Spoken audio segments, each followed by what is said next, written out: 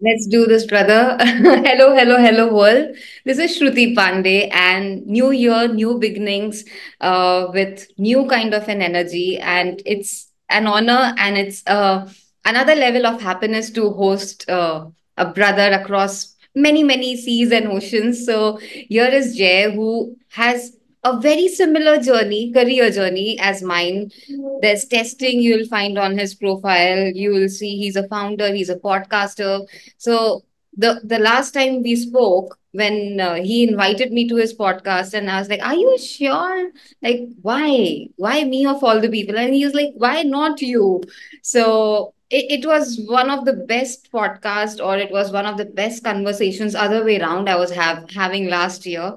So thank you for that, Jay, and I'm so happy for you because your progress, your success makes me happier, and this guy he loves his family uh, there's a baby on the way and his love and passion for astrophotography is another level like literally into the space or astro so let's get into knowing jen more i hope i introduced you all right I think you gave me too much credit on everything. Uh, it's very nice to be with you again. You are, I think we hit it off like, I think we hit it off through the messaging. Like we just kind of connected through LinkedIn, just like messaging. And then we met in person and we're like, wow, we were like kindred uh, spirits, I think. So thank you for being on my show and thank you for the beautiful introduction. So thank you very much. I'm glad to be here. I'm so, I'm just glad to talk to you again. This is great.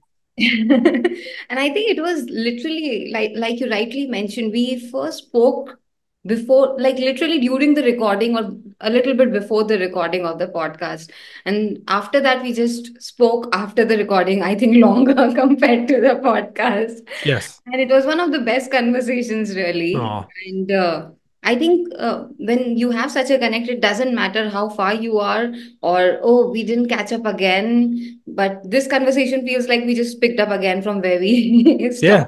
So, That's that's a good that's the you know the the sign of a good friendship, right? Is you just pick pick right up where it left off. So yes, I feel like we didn't miss a beat. We're back. we're back. And uh, I want to understand while I was talking all glory about you and you were like, oh my God, this is too much.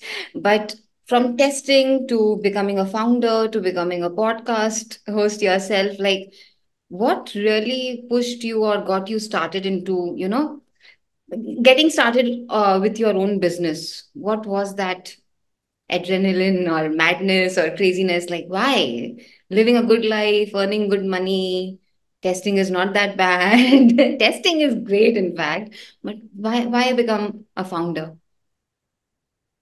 Um, you know, I typically blame my wife for that. Um, I think with any good partnership, um,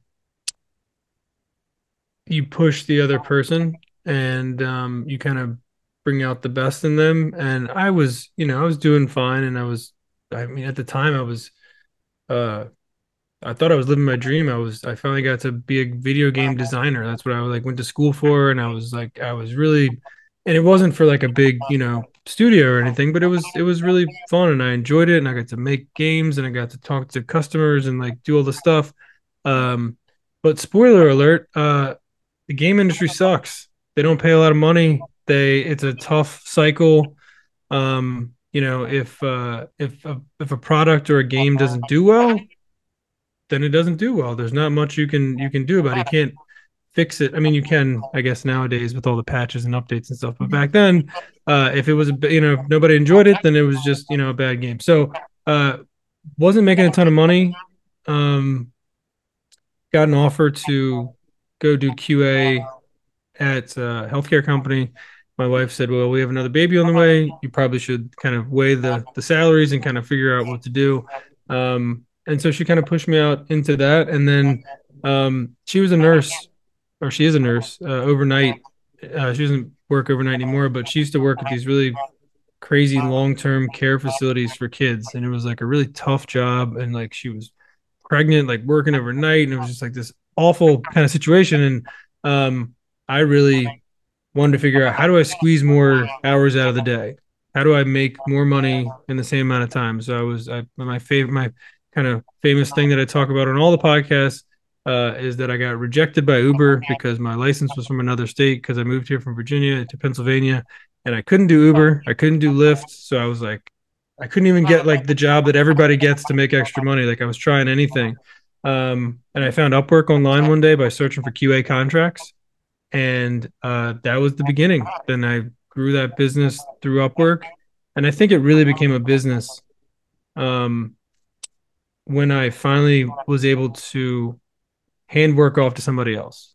And I, you know, somebody came to me and wanted me to do the job, and but I could kind of tell that maybe this was my my opportunity to have somebody else do the work for me and kind of be the the middleman. Um, and once that happened, and, and I realized I could pay somebody else, you know, twenty five an hour, they were going to pay me fifty an hour, so I made twenty five dollars an hour doing nothing, quote unquote. Um, the light bulb went off, and I was like, oh, this is this is how the world works. This is how everybody makes businesses. So that was the beginning. And um, yeah, I, I, traditionally blame my wife for that, uh, who is now starting her own business uh, and getting plenty of, uh, you know, solicited and unsolicited advice from me. I've learned to not give the unsolicited advice and just be the sounding board. But uh, I'm very happy and kind of proud of her for you know her going on her own journey now. So so it's kind of come full circle. So I, I hope once she is back with the baby and all of both of them are healthy and fine, maybe one day I'll be interviewing her as well. Yes. Her business. Yes. I told her I'm going to have her on my podcast. The first customer, I have to have her on for sure. Now, she, I'm sure she would love to meet you and be on. Absolutely. I respect that, and it's such a great journey to hear your side of story even more uh, this time. And while you you were mentioning a, a lot of these things about you know money and stuff it's it's weird because you know in india we see okay we come from there are different classes there's lower class there's middle class there's upper class who are like the richy rich and we we all also like you know struggle and every time we think of uh, US, it's like, oh, there's money, there's like dollars, there's everybody's like Uncle Scrooge probably. And you know, it's it's not really like that. No, it's, it's not. like that for everybody. So or anybody. I, I think it's just the one person of the world who anyways, it's it would get into another conversation. Like, yeah, I'll leave it for some other day. But this is this is crazy. And I I love the hardworking spirit of the both of you uh, and uh, I appreciate the fact that you appreciate your wife.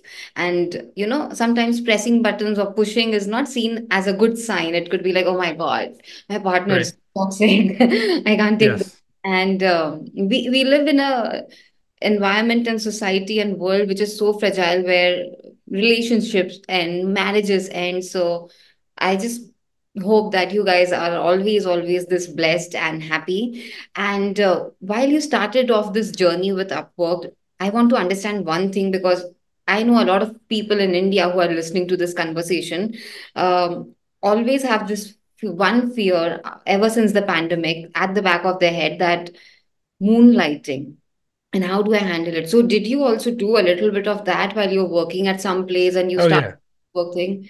Oh yeah.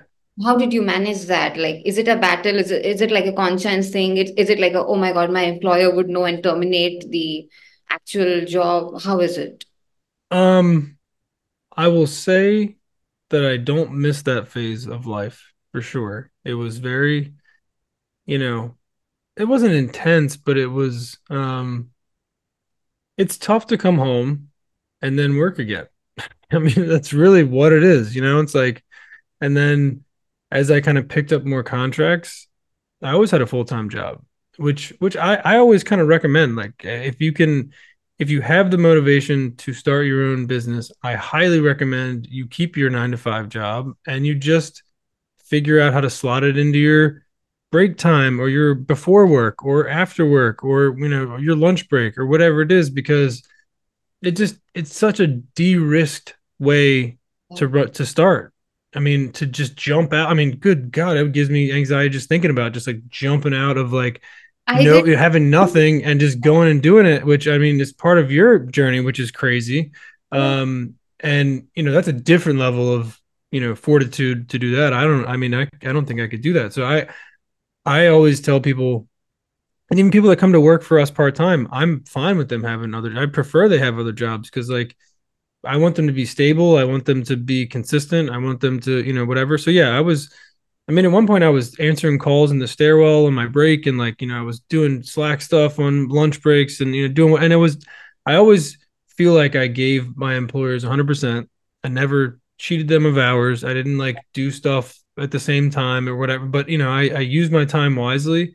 And I mean, I had three or four or five or six contracts running at the same time while having a full time job um, in office, right? Which is even crazier to think about. Um, but then when I moved moved to a fully remote nine to five position, things became easier, more flexible. I was able to hop on calls, do whatever I had to do, and um, you know, just just I, I always, I'm sure there are employers that will crack down on that and not appreciate you having other jobs. I think you just have to find out if they're okay with it or not. I mean, if they're not, and first of all, if they're not, I don't know if that's a place you want to work, right? If they're like, no, you can't work somewhere after hours. Like, I mean, that's not your time. That's not their time to tell you that. But I'm not sure how that is in India if it's any different. But uh, I would say traditionally, most people, most companies in America, you know, besides maybe like enterprise, big, you know, massive companies, don't have a problem with you moonlighting um, as long as it's not during work hours. I, I think here there would be like cultural and geographical and okay silicon valley of india and that kind of perception or because here it's like how much can we slog how much can you squeeze out of these people and make Right. 70 hours a week or 80, 90 hours a week. So there really is no time left you know. I Hmm. have sometimes or oftentimes people asking me like just have me on some of your projects and let me do the part-time thing. But they don't have their life their their time and there's al already that work. And i i mean i i say them no with a heavy heart because it's not going to work right? It's it's going to get difficult. Plus the employer situation is very let's say toxic here. You can't do that kind of a thing. If they get to know it would reflect on your resume very badly. And i wanted to ask you also about what about the people who just take the plunge? Like for me i mean despite getting offers i'm like no i'm just tired of this thing and get into another cycle. But i got your answer with that one word anxious. So moving on i want to now understand uh, how did you get your first 10 customers like when you officially started your JDAQA firm, how did you first get your first 10 customers? First 10. Well, Mhm. that's a whole podcast in of itself, right? You could be the first 10 customers instead of the first customer. Um, I think ma- mainly through Upwork. Uh, there was a couple referrals. One of them is still a client today, and probably our biggest sales person is that company because they're a well-known name in Philadelphia, and everybody knows who work with them. And um, uh, so the first 10, most were Upwork, I think, um, which you know was still a lead generation source for us today. It's not our. We used to rely on that. That was it. That's all we did. And then honestly, I think when the Ukraine war happened and they cut off all the Russian contractors, all the Russian businesses, all the Russian agencies, everything was just cut off. We didn't do business over there, but it certainly woke me up a little bit. And I said, well, that would suck if that happened to me. If they just, I went in one day and my account was gone. So I kind of pivoted, started to run, real, figure out how to run a real business um, and you know lead generation you know marketing sales doing all these things networking going to business events conferences all that stuff. So the first 10 were probably mainly through upwork but um, there were certainly some that were just like you know uh, some guy knew i did qa and was like hey you know are you still kind of consulting doing qa like maybe you could help our company out. And it's just from uh, you know letting your network i guess the the answer there is letting your network know that you're doing consulting and again i don't know in india Mhm. um, I don't know if any if that's like possible to like let your network know that you're consulting if you know you have a nine to five job.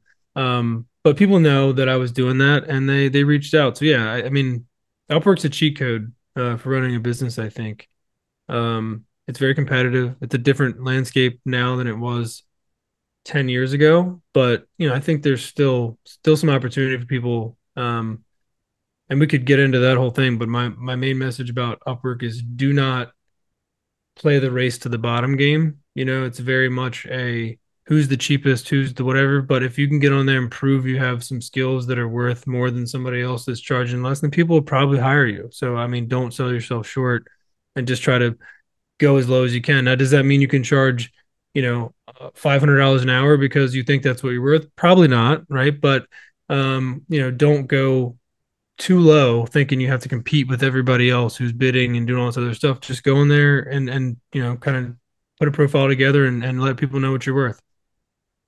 That that makes sense because yeah, I think the first time I opened up Upwork, I was like anxious looking at, oh my God, there are so many people around the world. And while you're interviewing, while you're getting hired at a place, that's exactly what happens with you. You just don't know. Right. It's everything is one to one with you and the company. But when when at Upwork, and I I love that advice because yeah, it feels like okay, as much as low you would go, it would be better for the employers to, you know, have your attention and get you the money and get you the job. But I don't think so. Like, what's the point of leaving all that rat race, getting into consulting only to lower, lower, lower Right. your game? It doesn't make any sense. So, okay. They're usually not the great clients either, by the way. The clients that are trying to get as cheap a work as possible Mm-hmm. are typically not the best clients to work with.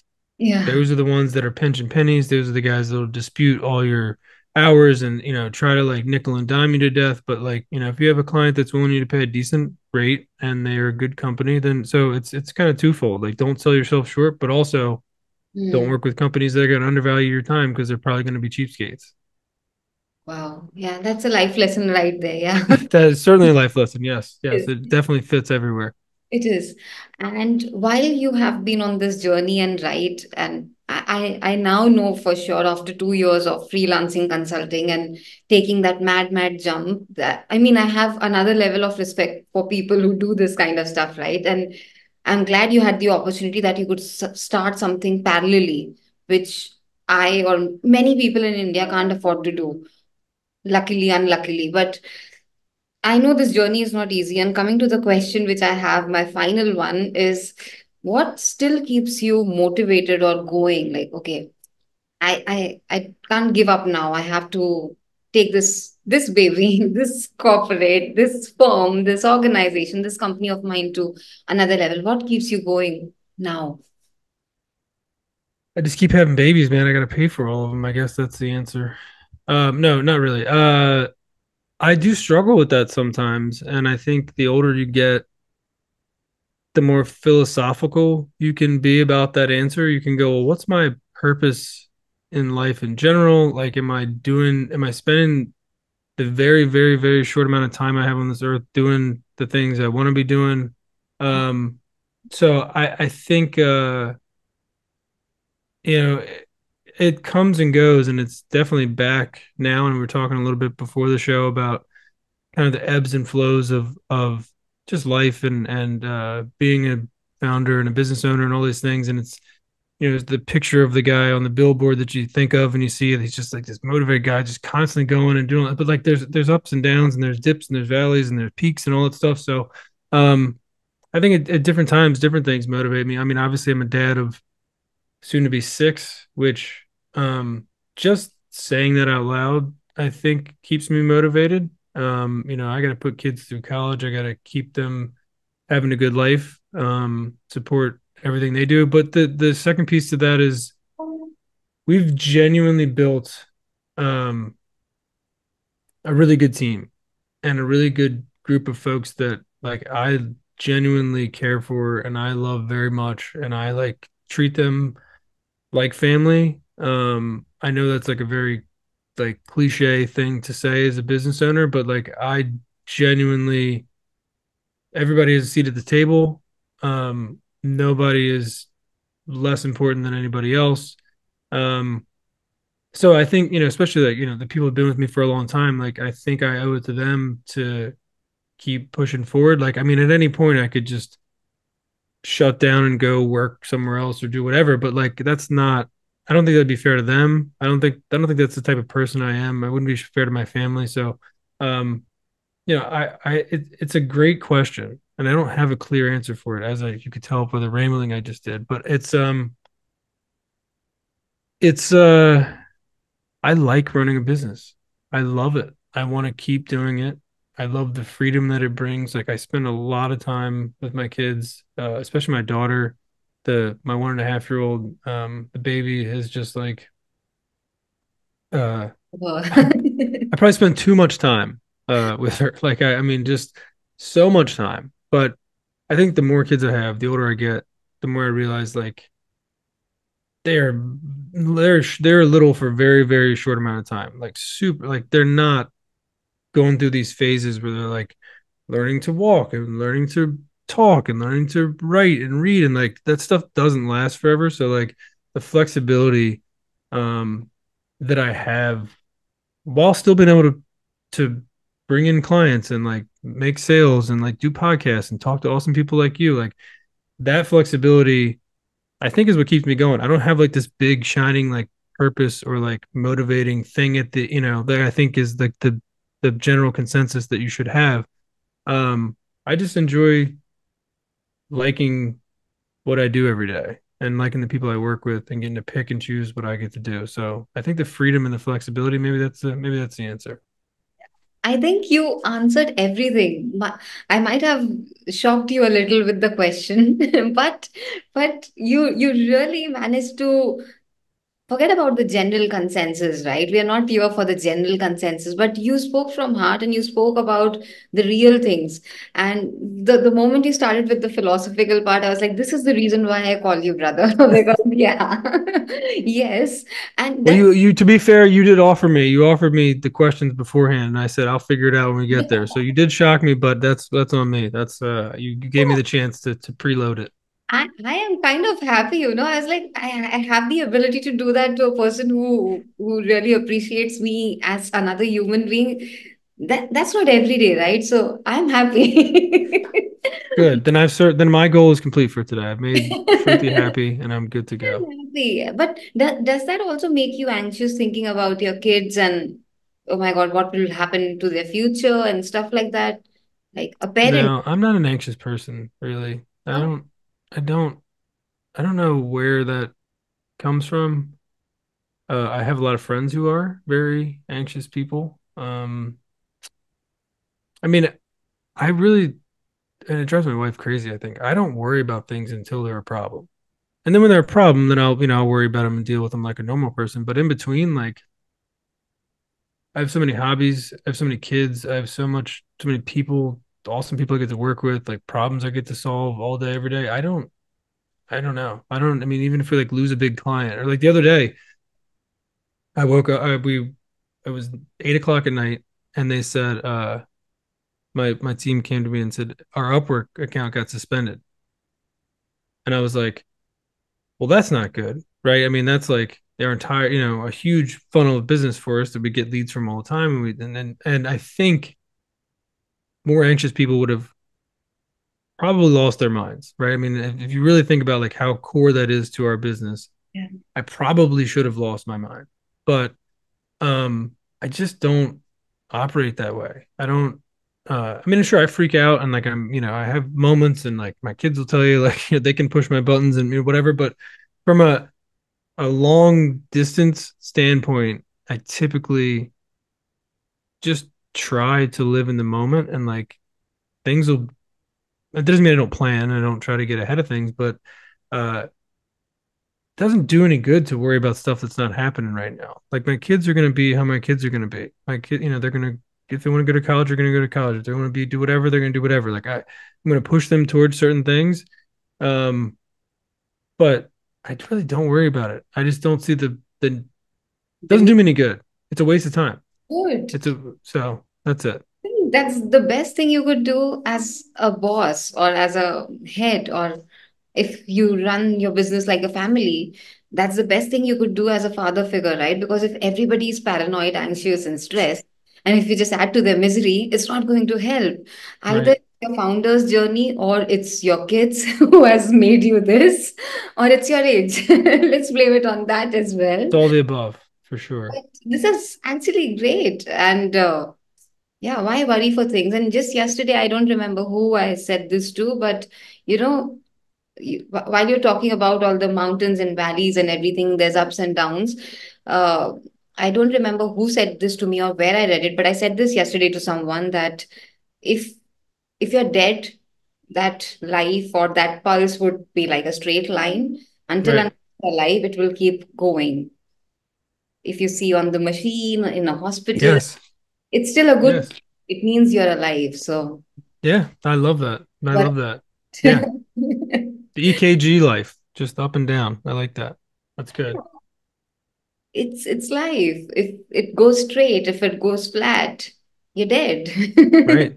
And who wants to, I mean, who wants a flat, boring life anyway, right? You can't, a, a bunch of my friends know very wealthy individuals, and uh, I always think like the the the ones who are born into that life, Mhm. yeah, they have all the things and they have, but like, do they really appreciate any of it? Like, can you possibly know how good things are if you haven't had to struggle and you don't know how bad things can be? Um, you know, so I, I try to look at it from a perspective of just appreciating, knowing, you know, there's bad times and there's good times, and really just try to enjoy the good ones while they're while they're here. Yep.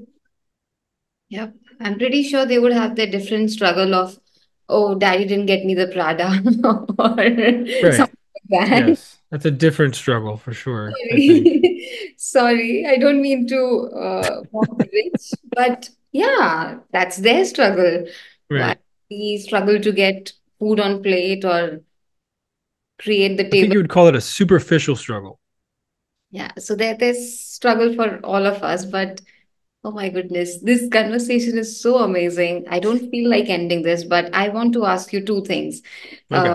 I hope you enjoyed this, but do you think I missed an, any question which you felt like I should have asked you, or anything at all that you want to add? No, this is your show. Uh, you asked all the questions that you thought were great, and I thought they were great. And uh, no, I love I love talking to you. So, um, no, I think you did a great job. Is there anything else that you would like the people who are listening to you, your journey, getting inspired, or you know, thinking, okay, let me start the moonlighting, or let me become a founder, or whatever, whatever is going on in their heads, given their struggles of life, right? We don't know what they are going through. So, do you have any advice for them?